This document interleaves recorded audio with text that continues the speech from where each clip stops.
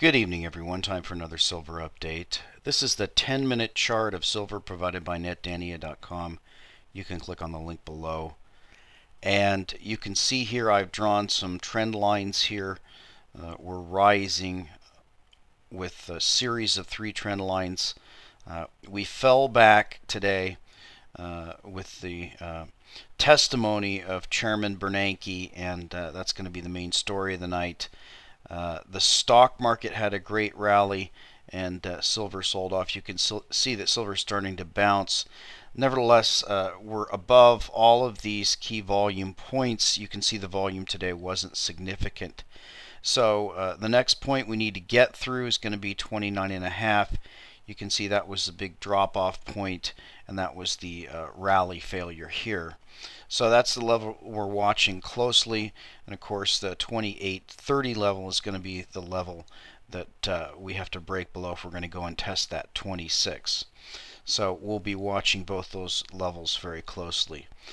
Now on to the main story. There's just so much to say on this. Uh, first, before we get into it, uh, I want to show you the uh, chart here of federal spending versus median household income. Now there's a million charts I can show you of how this thing is completely out of control. Uh, but you can see that uh, the median household income is pretty much flat and actually falling since about 2000. This is going to be your taxpayer. Uh, the, now the amount that the government is spending, of course, is is that hockey stick. It's just going straight up, and uh, it it is unsustainable. Uh, we're having the debate about the sequester that's coming up, and you'll see in uh, Mr. Bernanke's testimony, he warns us of how dangerous this sequester could be. Of course, it's only about a 2.5% cut, but uh, that could damage the economy, according to Mr. Bernanke. Uh, now, I wanted to show you the uh, list of speakers here, or questioners here. I'm just going to cover one of them. Uh, the other one that was very good was Sean Duffy, and uh, that's covered on Zero Hedge. Uh, and uh, that's a very interesting one uh, where he's questioned about Mexican pottery classes and shrimp on treadmills and Obama phones. And Bernanke's point is essentially that it's not as good to uh, cut things across the board as it is to cut things that are uh, uh, wasteful, I guess we should say. But uh, then again, uh, Bernanke has never told us what is wasteful. So I think uh, probably the best way to sum this up would be the comment by C Dad here on Zero Hedge. Keep it up, Tyler. From start to finish, this particular Humphrey Hawkins gathering is literally a bonanza of Bernanke slip ups, confessions, and flat out BS. Quite frankly, I'm surprised that I'm not hearing more on the mainstream media on this subject. Really? You're surprised? But I expect more in the coming days. A total and complete disaster for Mr. Bernanke. And it really was. So let's listen to the C SPAN uh, questioning by uh, Ms. Bachmann out of Minnesota, and uh, you'll just see uh, a sample of uh, Bernanke's demeanor, and this is quite telling. Bachmann for five minutes. Thank you, Mr. Chairman, and thank you, Chairman Bernanke, for being here today. I was reading your testimony, and thank you for giving it, and especially on page 7 and 8. On page 7, you talked about the sequestration and the impact of the sequestration and your concerns about that impact currently on the short term and the economic drag that that could bring about. And then on page 8, you talked about the fact that at some point down the road, we have to deal with our current debt and our current overspending. And so, and you had also said in your comments before us that we need to align our solutions with the problem meaning I take it that the spending reduction shouldn't happen today. They should wait until tomorrow when we really start to have problems. Yeah, we'll stop so drinking that tomorrow. That's when we'll quantify stop. that? Yes or no? I didn't say we have to get rid of the spending cuts today, but just more gradual introduction. Right. Okay. And combined with longer-term measures. So let me ask just some very quick kind of technical answers is what I'm looking for. What was the United States deficit last year? Uh, I have it right here. It was um, 1.09 trillion dollars. 1.09 trillion. And what is what was our total national debt for last year? Currently, what's About, our ele- current? about 11 trillion. and what is our current total national debt this year? Uh, it's currently about, I think, about 11 and a half trillion. I, I have to check. It's about Not 16.5 trillion? that includes the 16 trillion includes uh, intra governmental debt like the Social Security Trust Fund, but debt held by the public, as opposed to debt held between different parts of the government, is about 11 and a half trillion. So you're saying that the debt is 11.5 trillion, and what are the unfunded net liabilities? They're very large, um, particularly in the Medicare area. I don't have a number, uh, but they're probably some greater than the actual um, uh, official debt held by the public. And how much debt do we buy every day from the Treasury, from the Federal Reserve? every day, um, about one and a about one and a half billion. About one and a half the billion. So is it true that without the Fed purchases of our debt from the Treasury, would we be able to continue the spending level without that? Yes, you could. As I said before, the Fed only owns about 15% of the outstanding U.S. government debt. Um, Where would we go? If we didn't have the Fed buying that debt, where would we go?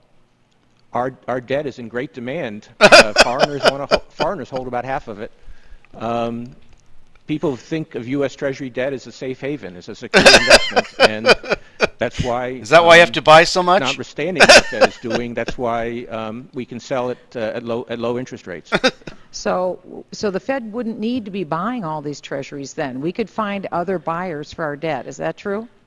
yes, So then why are we doing it? to keep rates a little bit lower to help support housing, automobiles, and other parts of the economy that need more support. But if there's other buyers, why the Fed?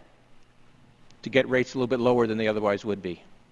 So if my 18-year-old daughter was spending 40% more than what my husband and I were giving her, and she didn't do that just this month, but she did it next month and the next month and the next month. And she finally, my husband and I said, we're just not going to bail you out anymore. We're just not going to continue to finance that overspending that you're doing. And she said to me, Mother, um, we need to we need to align our solution with the problem. In other words, you need to keep giving that, me that money because it's really not a problem yet. I would say I think you have a problem today.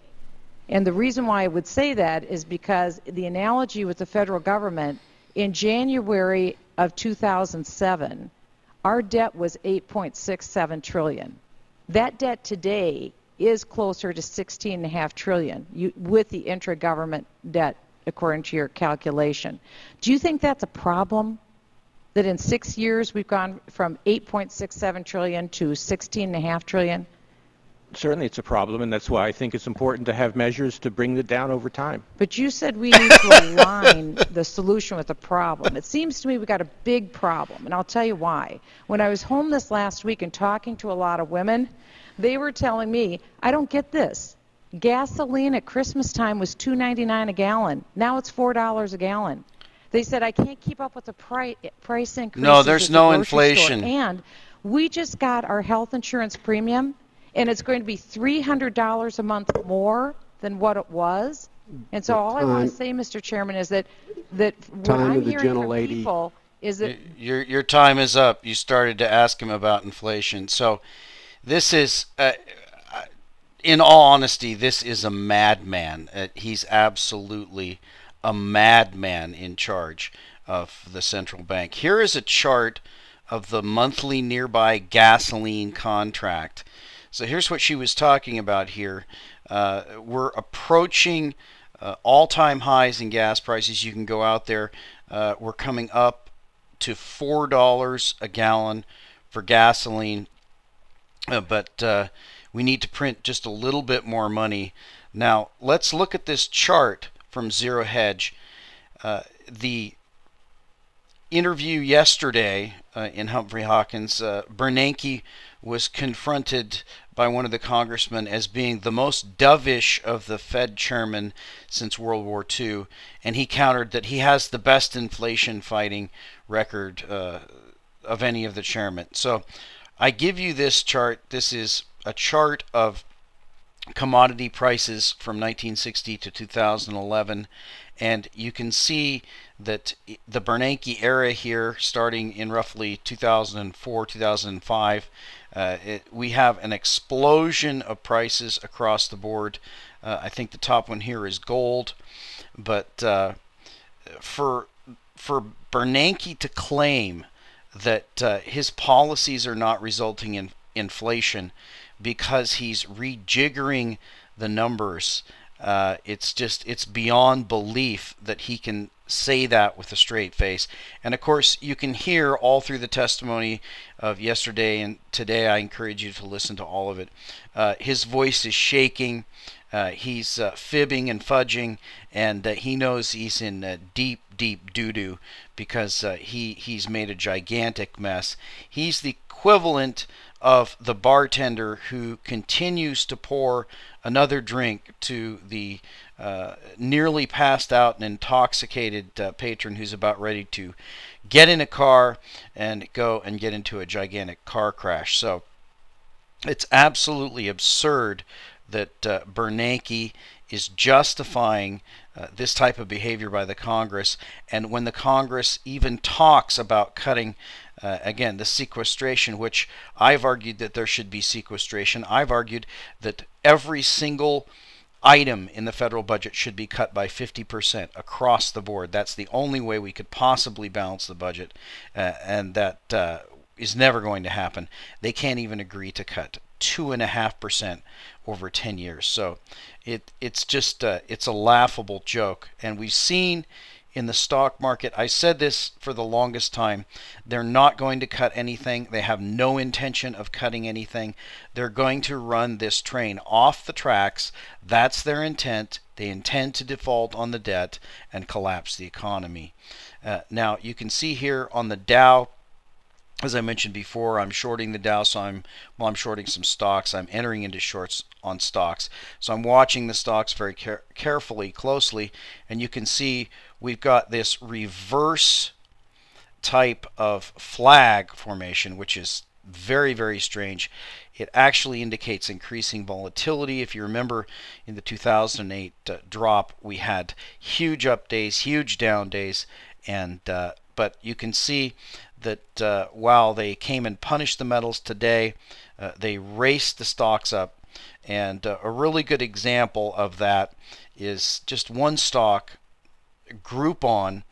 Uh, this is basically uh, a dot com bubble stock. It has a market cap of about four billion dollars, uh, and it's it uh, closed up today about eight percent. A lot of the gamblers thought that uh, this was going to take off like some of the other ones have, Netflix, LinkedIn, as this money that Bernanke is printing sloshes around these markets. Uh, this gigantic casino looking for a home and trying to find the next big uh, boom, which you can see immediately turned into the next big bust as Groupon, which went up 8% today, crashed 26% overnight, and uh, you can see that in the chart. Uh, so uh, we just have this kind of madness going on. It's way, way down below here.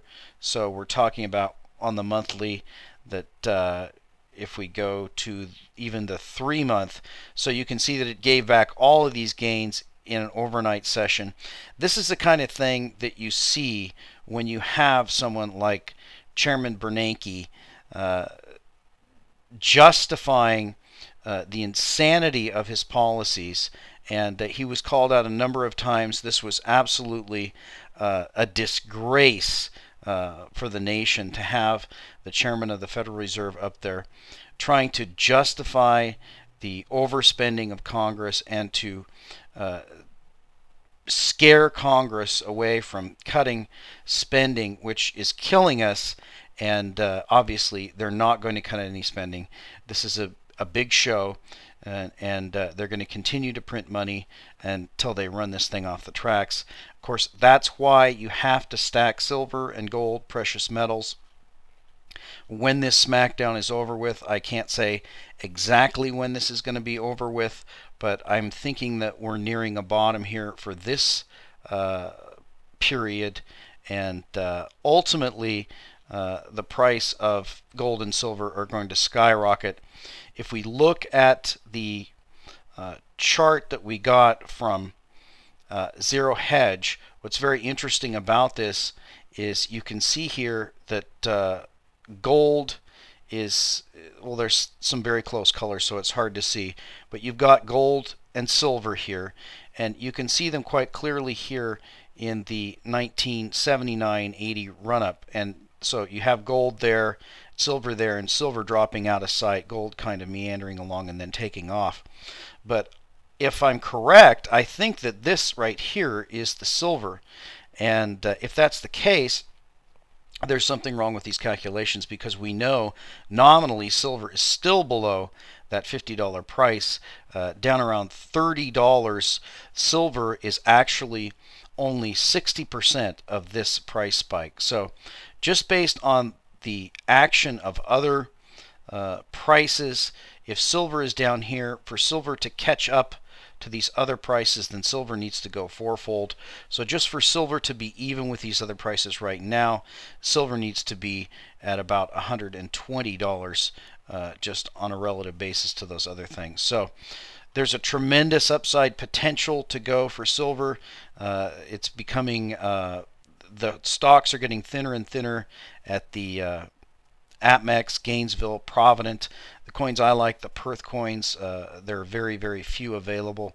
So I think that uh, once those are nearly gone, that usually marks a bottom. At least that's what I've noticed in the past.